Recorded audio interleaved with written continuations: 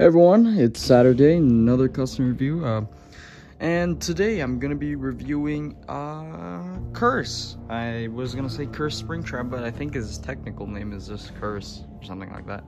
Uh, but yeah, here's Curse. Uh, he's a FNAF AR skin.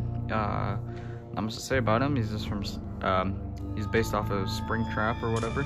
He's like a kind of, hmm, what would, what would you say, like an Aztec warrior type deal. Well, anyway, uh, this is Curse, and I'm gonna be telling you how I made that.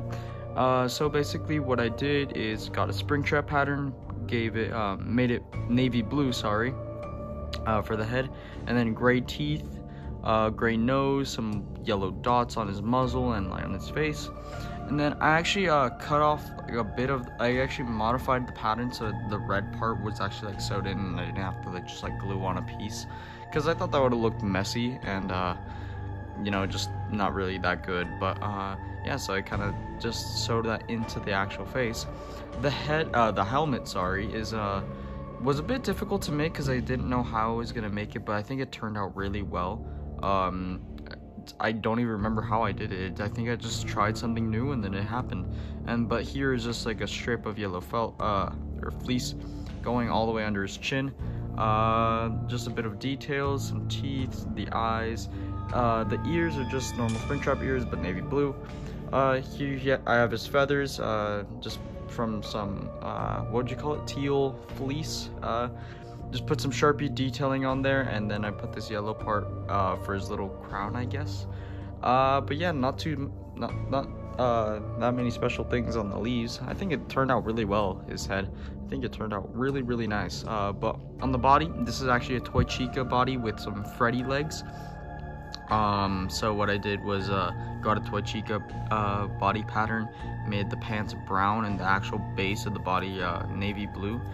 Uh, and then what I did was grab a uh, piece of fleece uh, and kind of just cut it so then I can make his little like uh, leaf skirt. His hands and uh, legs, or hands and feet, sorry, are yellow with a little bit of leopard printing on there, I guess. right here, I just got some like gold felt and colored that in, put a little bit of detailing. Here we have his like little giant coin, I guess. I don't know what to call it, but yeah, that's that. Uh, and then this little piece of uh, some leaves right here, uh, just so that it looks like uh, like he does in the game. And I think it looks really nice. Oh, right, sorry. And on the back, I also added another circle like that and then some more detailing. Uh, but I think he looks really nice. Uh, he's actually one of my favorite FNAF AR customs that I've made, just because I think it looks really cool, in my opinion. I might be using this in like a future season of FNAF Reborn, but we'll have to see about that. But uh, yeah that's pretty much it. Uh, if you did enjoy this video, please like, subscribe, do all that jazz. We're almost at 10,000 subs, guys. That's insane.